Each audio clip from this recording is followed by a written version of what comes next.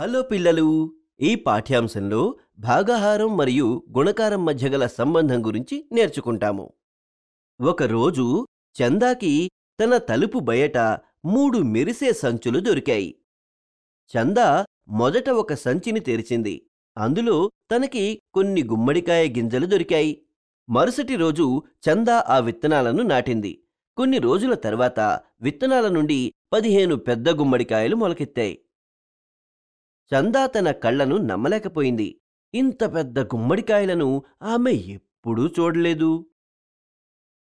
చందా తాను ఆ పదిహేను పెద్ద గుమ్మడికాయలను తన ఐదుగురు మిత్రులకు సమానంగా పంచుదామని అనుకుంది. మిత్రులరా చందా ఇది ఎలా చేస్తుందో మీరు చెప్పగలరా?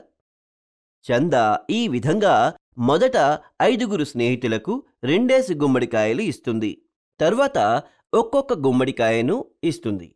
ఈ విధంగా చందా ప్రతి స్నేహితుడికి ఎన్ని గుమ్మడికాయలు ఇస్తుంది మూడు గుమ్మడికాయలు. దీన్ని మనం భాగాహారం ఉపయోగించి ఎలా రాస్తాం? పదిహేను గుమ్మడికాయలను ఐదు సమాన భాగాలలో విభజిస్తే మూడు గుమ్మడికాయలు వస్తాయి. మనం జాగ్రత్తగా పరిశీలిస్తే ఇక్కడ ఐదుగురు స్నేహితులు ఉన్నారని ప్రతి స్నేహితుడికి మూడు గుమ్మడికాయలు లభిస్తాయని మనకు తెలుస్తుంది. మనం దీనిని ఎలా రాయవచ్చు? సరే మనం దీనిని గుణకార రూపంలో ఈ విధంగా రాయవచ్చు. ఐదు ఇంటూ మూడు. అప్పుడవుతాయి పదిహేను గుమ్మడికాయలు. పిల్లలు మనం ఏ భాగాహారాన్నైనా గుణకార రూపంలో ఈ విధంగా రాయవచ్చు. ఇప్పుడు చంద తన రెండవ సంచిని తెరచింది. ఈ సంచిలో తనకి కొన్ని బియ్యపు గింజలు దొరికాయి. ఆ బియ్యం గింజలతో ఆమె తన కోసం పాయసం చేసుకుందామని అనుకుంది. చంద ఆ బియ్యం గింజలతో పాయసం తయారు చేయడం ప్రారంభించిన వెంటనే అవి పెరుగుతూ అలా పెరుగుతూ వెళ్ళాయి.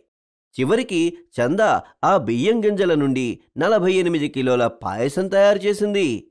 ఆ గ్రామంలోని పన్నెండు మందికి చంద పాయసాన్ని పంచాలి. ప్రతి వ్యక్తికి ఎంత పాయసం వస్తుందో చెప్పగలరా? ఈ విధంగా ప్రతి వ్యక్తికి రెండేసి కిలోల పాయసాన్ని చందా ఇస్తుంది. తరువాత ఒక్కొక్క కిలో పాయసం ఇస్తుంది. చివరకు మరొక కిలో పాయసం ఇస్తుంది. ఈ విధంగా చందా నలభై ఎనిమిది కిలోల పాయసాన్ని పన్నెండు మందికి సమానంగా పంచుతుంది. మరియు ప్రతి వ్యక్తికి నాలుగు కిలోల పాయసం లభిస్తుంది. భాగాహారాన్ని ఉపయోగించి దీనిని మనం ఎలా రాయవచ్చు? సరిగ్గా చెప్పారు. భాగాహారాన్ని ఉపయోగించి మనం దీనిని ఈ విధంగా రాయవచ్చు. పిల్లలు మీరు ఈ భాగాహారాన్ని గుణకార రూపంలో రాయగలరా? మీరు కావాలంటే ఈ వీడియోను ఆపి సమాధానం కనుక్కోవచ్చు. సభాష్ పిల్లలు దీనికి మీరు సరైన సమాధానం కనుగొన్నారు. పన్నెండు మంది మరియు ప్రతి వ్యక్తికి నాలుగు కిలోల పాయసం లభిస్తుంది. అయితే అప్పుడు మొత్తం పాయసం నలభై ఎనిమిది కిలోలు అవుతుంది. పన్నెండు ఇంటూ నాలుగు అప్పుడవుతుంది నలభై ఎనిమిది. ఈ గుణకారాన్ని మనం మరొక విధంగా కూడా రాయవచ్చు.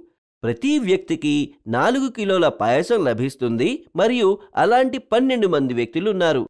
కాబట్టి పాయసం యొక్క మొత్తం పరిమాణం నాలుగు ఇంటూ పన్నెండు అంటే నలభై ఎనిమిది కిలోలవుతుంది. ఈ రెండు విధాలుగా మనం ఏ భాగాహారాన్నైనా కూడా గుణకార రూపంలో రాయవచ్చు. చంద మూడవ సంచి తెరిచే ముందు అనుకుంది. తాను రెండు సంచులను తెరిస్తే తను ఇంత సంతోషపడింది. కాబట్టి తాను మూడవ సంచిని తన స్నేహితుడు బబ్బన్కి ఇచ్చి తనని కూడా సంతోషపెట్టాలని అనుకుంది. ఇలా ఆలోచించి చందా ఆ సంచి బబ్బన్ ఇంటి తలుపు ముందు ఎవ్వరూ చూడనప్పుడు పెట్టింది. బబ్బన్కి ఆ సంచిలో ఏం దొరికిందో మనం తదుపరి వీడియోలో చూద్దాము. పిల్లలు ఈ పాఠ్యాంశంలో మనం భాగాహారం మరియు గుణకారం మధ్య గల సంబంధం గురించి నేర్చుకున్నాం. తదుపరి పాఠ్యాంశంలో దీనికి సంబంధించిన ఆసక్తికరమైన ఉదాహరణలు చూద్దాం.